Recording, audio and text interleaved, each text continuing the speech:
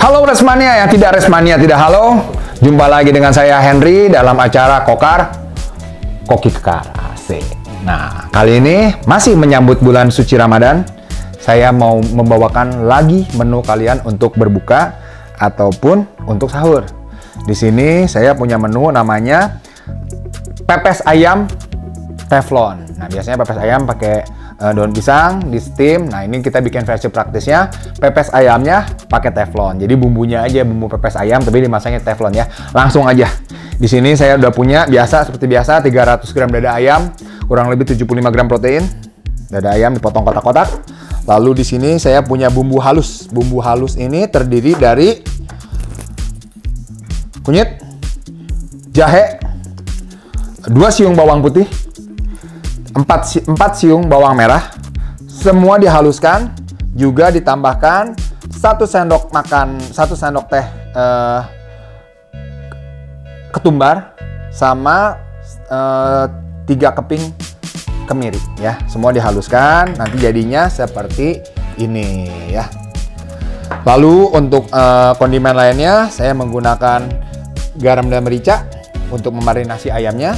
Lalu ada daun ke uh, daun apa nih sebutnya nih? Suraung tuh kemangi, daun kemangi ya. Lalu di sini ada celincing atau belimbing bulu yang dipotong kotak-kotak. Eh dipotong uh, apa ya nih ya? Uh, dah dipotong seperti inilah namanya. Lalu ada bawang, uh, sorry, ada uh, cabai merah diiris tipis dan daun bawang ya. Dan juga ada sedikit air ya. Yuk kita mulai yuk. Yang pertama kita lakukan adalah memarinasi uh, satu sendok uh, teh uh, merica dengan setengah sendok teh uh, garam ya. Kita campurkan aja. Kita panaskan uh, kompornya. Kita grill pertama ayamnya ya. Sama ini two step juga masaknya. Kita grill ayamnya dengan sedikit minyak. Oke, teman-teman, kita uh, marin apa? Uh, grill dulu ayam yang sudah dimarinasinya. Seperti biasa, teknik marinasinya kita ratakan, tidak perlu dibalik-balik. Ditunggu sampai putih sebagian, baru dibalik ke atas. Ya, teman-teman, di bulan uh, suci Ramadan ini uh, kalian bisa tetap melakukan uh, gaya hidup sehat, olahraga. Uh, kalau pengalaman saya, uh, sebaiknya olahraga itu dilakukan uh, sebelum buka, tapi tidak terlalu lama ya, kurang lebih 30 sampai 40 menit maksimal dan tidak dengan intensitas yang tinggi. Kalau teman-teman yang dalam proses uh, pembakaran lemak bisa memanfaatkan uh, momen uh, bulan suci ini dengan melakukan kardio setengah jam sebelum berbuka puasa. Karena di saat kita uh, berpuasa itu gula, uh, glikogen kita terkuras habis, nantinya yang dipakai tenaga adalah menggunakan lemak sebagai bahan bahan bakarnya. Lalu kalau yang teman-teman memilih untuk tetap melakukan latihan dengan intensitas tinggi, disarankan uh, melakukan latihan setelah buka atau setelah taraweh. Jadinya uh, sudah buka dulu dengan protein yang cukup, dengan karbohidrat kompleks yang cukup, baru melakukan latihan olahraga. Ya. Jadi jangan jadi alasan bahwa uh, bulan puasa ini tidak tidak olahraga mas sekali ya teman-teman ya. Bahkan bagi beberapa yang melakukan diet, ini saat yang tepat karena sudah melakukan puasa, mendapatkan hasilnya, mendapatkan ya, menjalankan uh, puasanya, mendapatkan uh, ibadah menjalankan ibadahnya, dapat berkatnya, lemaknya juga hilang. Jadi komplit banget ya teman-teman ya. Luar biasa ya.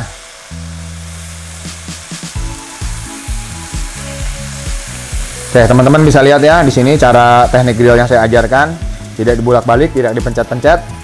Hasilnya nanti akan juicy ayamnya ya. Dan cepat juga. Oke.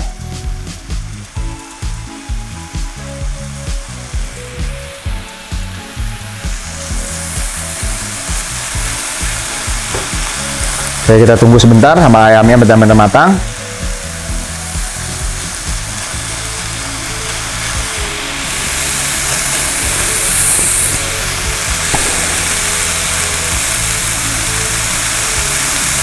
Oke, kita sisihkan ayamnya sebelum masuk ke tahap berikutnya.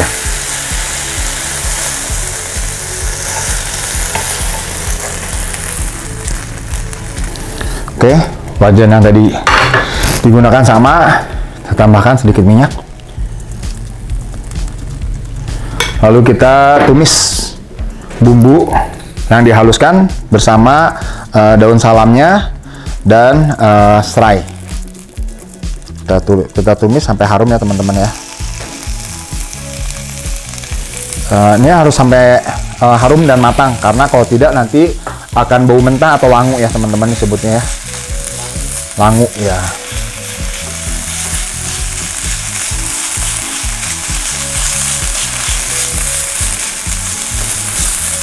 Kalau dari segi suplementasi saat bulan puasa ini teman-teman bisa memanfaatkan pemakaian uh, amino atau BCAA di saat sahur dan juga uh, whey protein di saat uh, buka puasanya supaya terjadi uh, apa penyerapan protein yang lebih cepat saat kita uh, berbuka puasa karena kan uh, lebih gampang dicerna whey protein itu.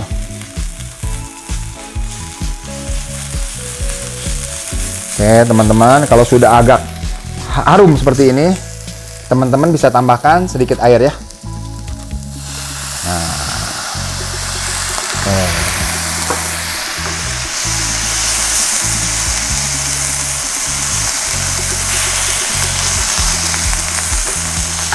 Kita kecilkan apinya sedikit. Lalu teman-teman masukkan semua bahan lainnya.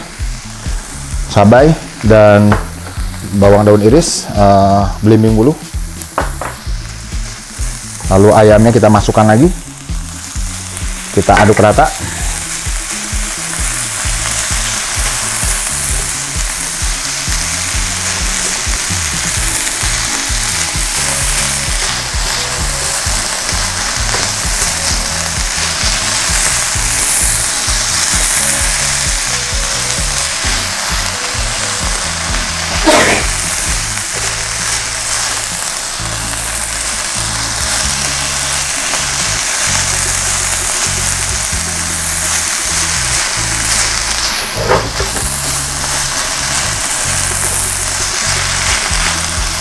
Oke, kita aduk rata, kita tunggu sebentar sampai semua bumbunya meresap.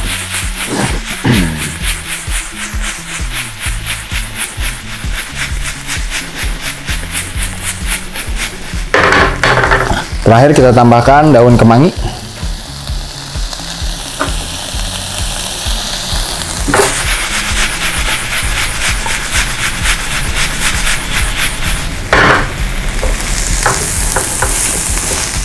Jadi teman-teman bisa juga nyiapkan ini di malam hari, nanti pas mau sahur tinggal dihangatkan, hangatkannya bisa di steam atau dikukus atau di teflon lagi.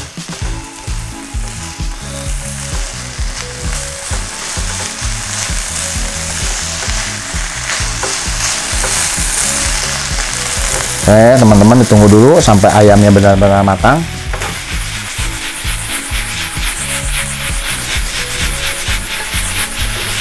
Dan selesai. Mudah ya teman-teman ya.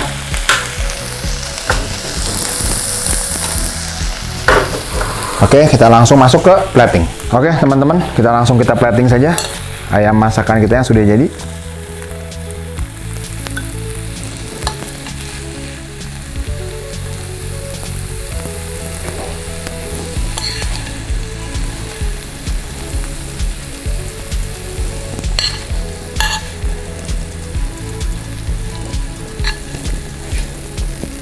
Itu teman-teman uh, bisa coba di rumah. Uh, jangan lupa di like dan subscribe di repside.com. Kalau teman-teman suka hasil masakannya, uh, bisa di repost di uh, tag ke repside.com atau Sportisi atau ke Henry MC4. Nanti kita akan repost hasil masakan atau kreasi teman-teman.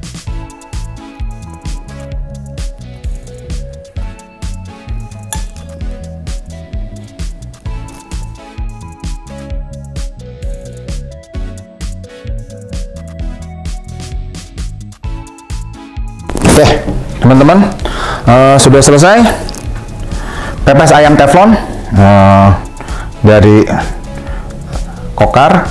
Nanti teman-teman bisa coba, jangan lupa di like dan subscribe.